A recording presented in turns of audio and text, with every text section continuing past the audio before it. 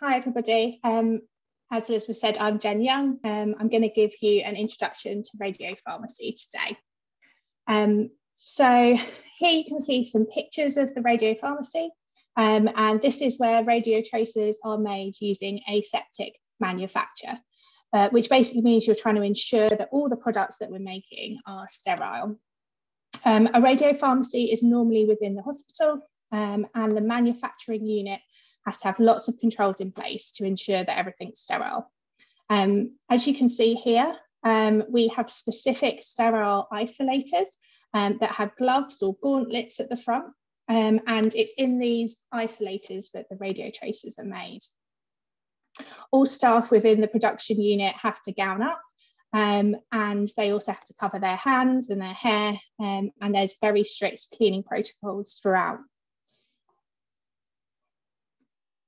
So um, staff working in radio pharmacies, and in fact, staff working in pet centres like Maite described as well, um, tend to be split into three teams. Um, the production team who manufacture the radio tracer, the quality control team who conduct tests on the radio tracer to ensure it meets specifications, and the quality assurance team who check all of the documentation and are the final people that release the radio tracer for use. Um, these three teams must be independent from each other. This is part of the GMP requirements and it helps to ensure quality. Um, something slightly different has to happen if the radio tracer is an investigational medicinal product for use within a clinical trial. Um, in this instance, it must be a qualified person or um, QP that carries out that release. These people have additional training and certification compared to other members of the QA team, and they have to be named on the IMP license for the radio pharmacy or for the pet centre. Um, so it's really important that you have this person available if you're doing a clinical trial. So um, in what way is um, radio pharmacy production different to um, the type of uh, radio tracers that Maite talk about, um, which are made at units that have a cyclotron. Well, radiopharmaceuticals that are typically made in a radiopharmacy focus um, uniquely on radioactive metals. Um, and because these are metals rather than non-metals, they require a different type of chemistry in order to form radio tracers. Um, metals can easily be incorporated into compounds using specially designed molecules called chelators. Um, the word chelator is derived from the Greek for claw, and we can imagine um, that there are a number of claws holding the metal in place. In radio tracers, lots of these claws are joined together so that they totally surround the radioactive metal and bind it really tightly so that it's stable when it's been injected into a patient and it gets to the disease site. So how are radio tracers designed? So radio tracers can be made up of just this chelator uh, with the radio metal going into the center, or they can be a bit more complex. Um, you can also have a situation where you have the chelator, which is then attached to a linker which is then attached to a targeting molecule. So then when you add the radioactive metal, um, this will then um, specifically go to a disease cell which may express a certain type of uh, protein or uh, targeting um, species on its surface.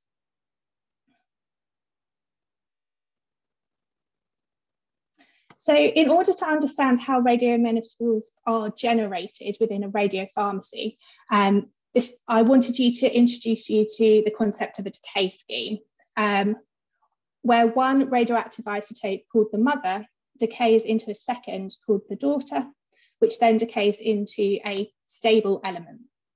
Um, I want to talk you through this process because it's slightly different to what Maite talked about with cyclotrons, um, and it forms the basis of how um, radiometals are generated within uh, a radio pharmacy. So in this scheme, we're really most interested in the daughter isotope. Um, so this is the one in the middle of this scheme, uh, as this is the isotope that's going to be used for imaging. It's the one that's incorporated into the radio tracer Um, it's got a short radioactive half-life, uh, which minimizes the dose to the patient. The mother isotope is the one that's going to produce that daughter isotope we're interested in. Um, and this one needs to have a longer radioactive half-life on the um, scale of weeks, and it must be easily separated from the daughter. And then lastly, we have the stable isotope that is no longer radioactive.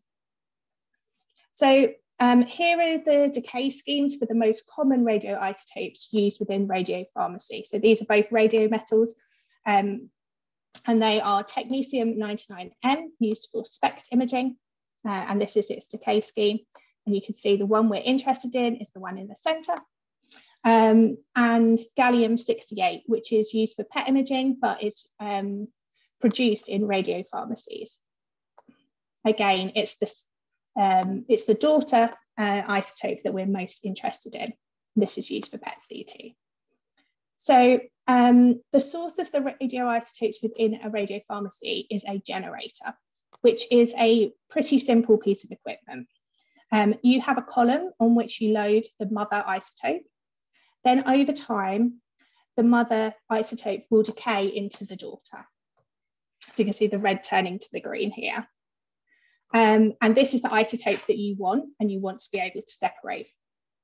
Um, so in order to separate this, you flush the column with a solution which removes just the daughter isotope. And this solution or generator eluate, so we call it generator eluate, is what is used to manufacture the radio tracer. Um, this generator can stay in the radio pharmacy for many days, uh, and you basically elute the generator when you need to make the radio tracer. So you basically have this daughter isotope on demand.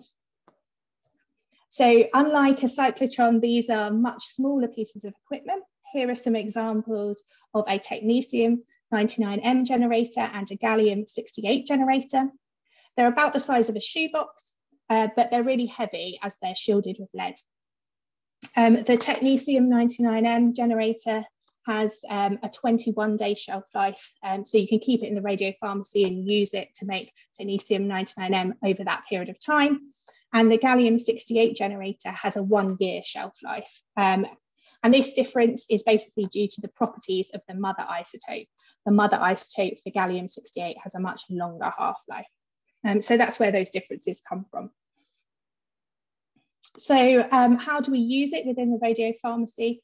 Well, the generator sits in a specific drawer within this sterile isolator, um, and it can be eluted as I'm going to show you in the next video. Oh, here's the, here's the drawer. So you open up the hatch to access the generator. Uh, you take off a cap to, re to reveal a needle. Um, and then you take a shielded evacuated vial, um, which is in that silver metal thing there, and you put it on top of the generator. The needle that was on top of the generator pierces the vial and the vacuum inside the vial pulls that liquid from the generator into the vial. And then it's ready to use. So um, the generator eluent um, is then added to a kit to form the radio tracer. These can be single vial, two vial or multi-vial kits as seen here.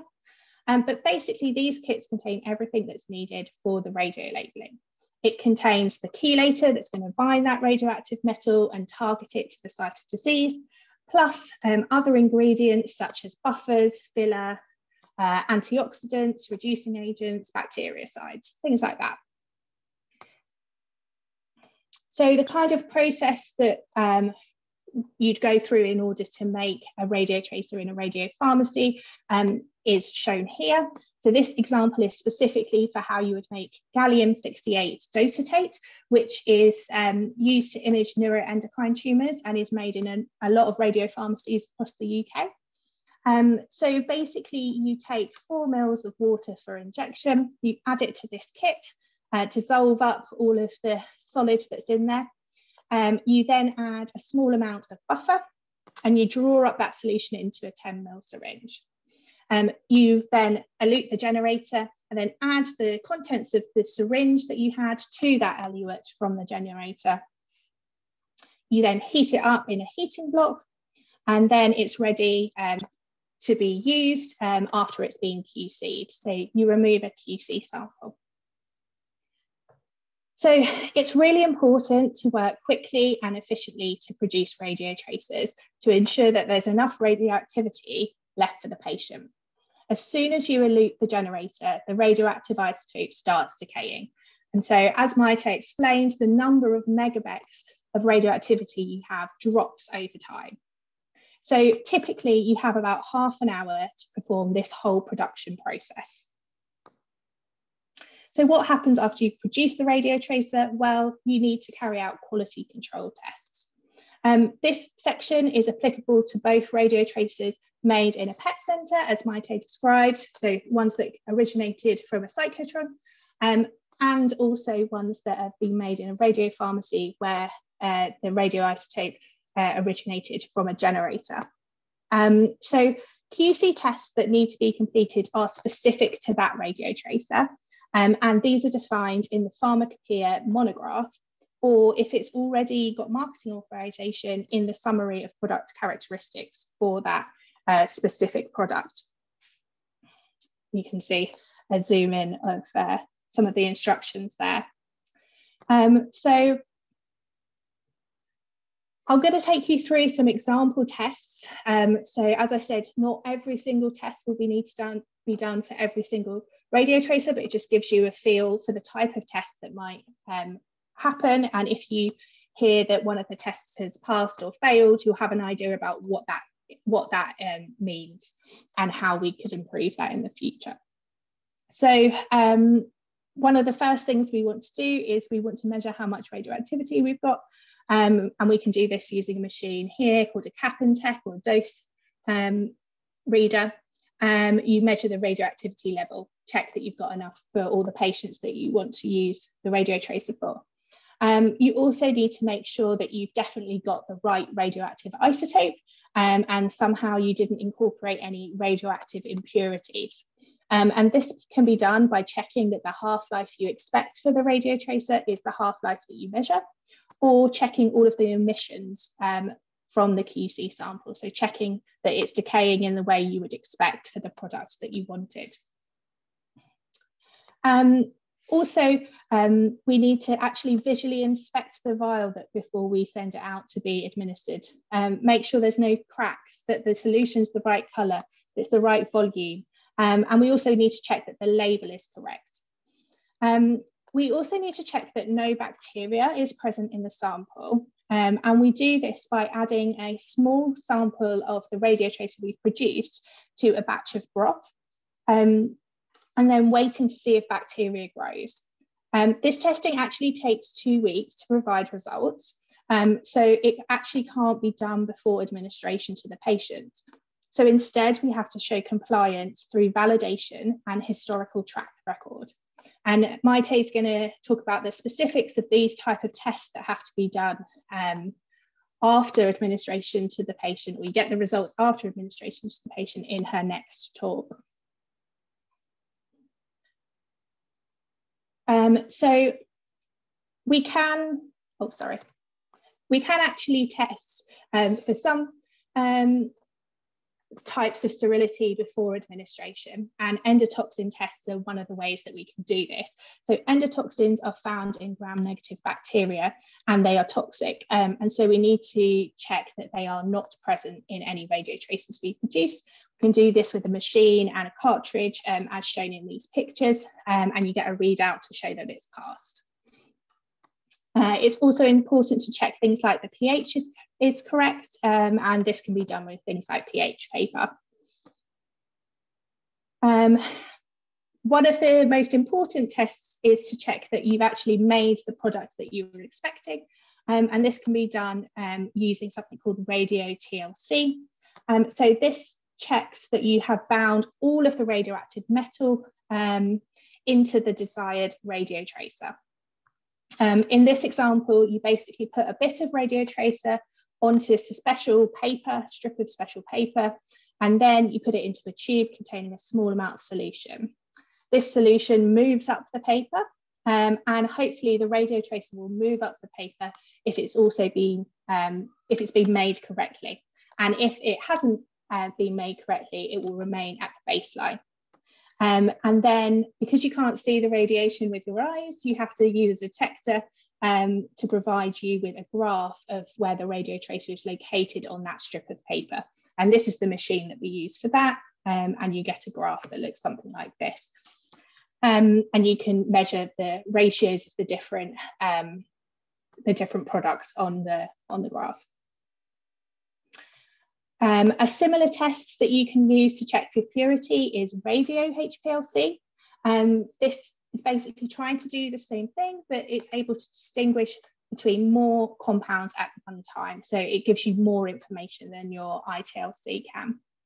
Um, so the way that this works is that you inject the radio tracer into the system and it travels to a column and different compounds take different amounts of time to be released from a column. And so this is how they're separated from one another. Um, once the radio tracer leaves the column and goes through the detectors um, and then into waste, uh, you get a graph showing you at what time the radio tracer came off the column. And you can check that every time you do the synthesis, it you get the same graph. Um, and you can also check that this agrees with a known standard as well. So you're expecting to get nice graphs that correspond to your standard and your uh, radio tracer. Um, another test that we might need to do is filter integrity. Um, and this machine is used to check that any filters that might be used in the process um, in order to sterile filter the radio tracer and remove any possible bacteria were actually working at the time that they were used and that they didn't have any leaks. Um, and this basically confirms that the product is sterile. So this is the, a range of different uh, tests that might need to be done on a radio tracer. Um, and again, it is super important to do these QC tests quickly and effectively.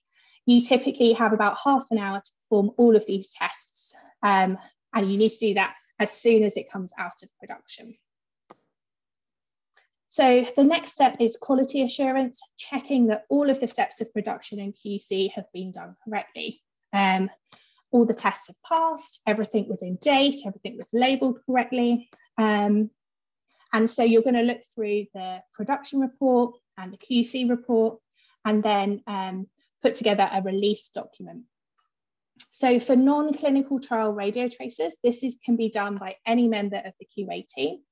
But again, specifically for IMPs, so for investigational medicinal products of clinical trials, it has to be a QP uh, that signs that release document. Um, the other thing that um, the other document that the QA release might also cover is the transport documents as well. Um, they're likely to be responsible for checking these um, as um, there's lots of regulations around transport as well.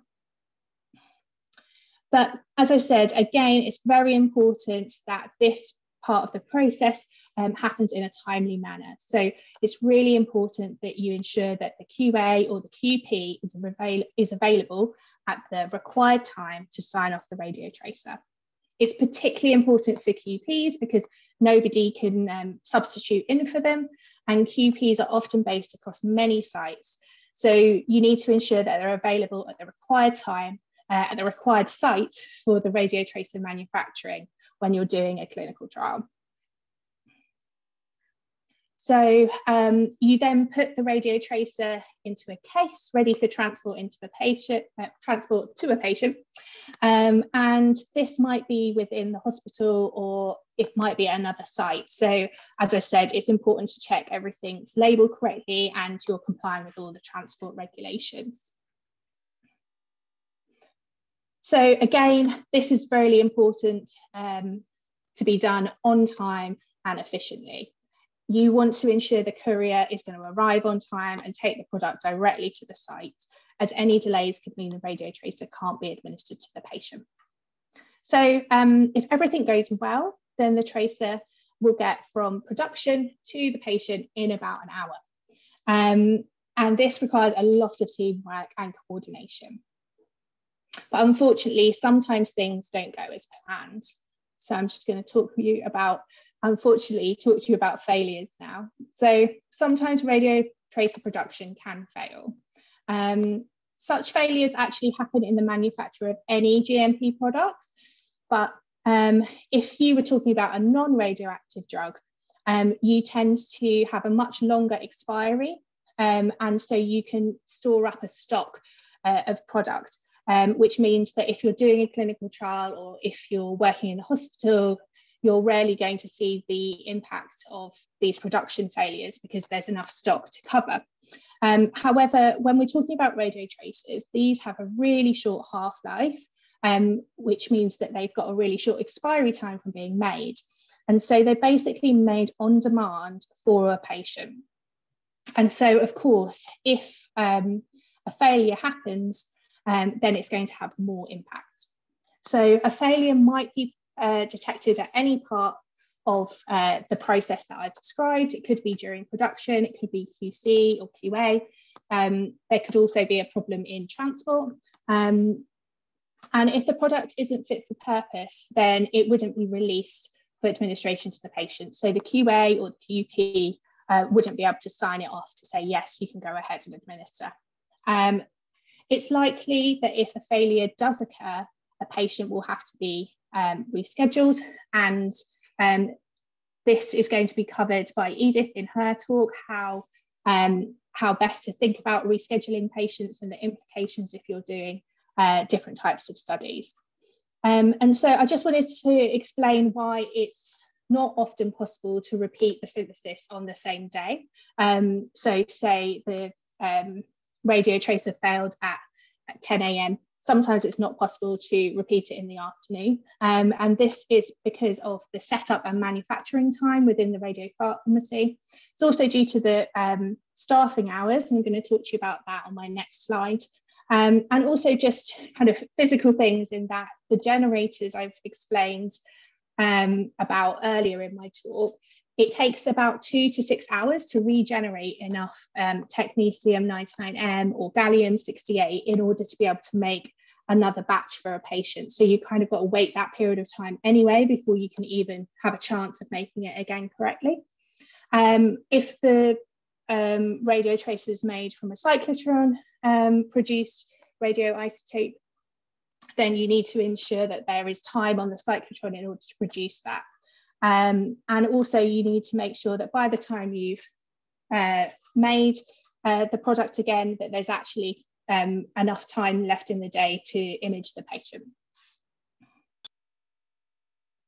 So um, just to give you a little bit more insight into why it might be hard to repeat a production run on the same day, or why you would need to give a, a radio pharmacy appropriate notice if you decided you have to change when a radio tracer needs to be produced, I wanted to give you an overview of a day in the radio pharmacy. Um, so as you can see, the start time is very early. Staff in the radio pharmacy don't work nine to five, um, but typically six till two. Um, and this, of course, is going to impact on when you might be able to talk to a member of radio pharmacy staff um, and also how far in advance changes need to be made.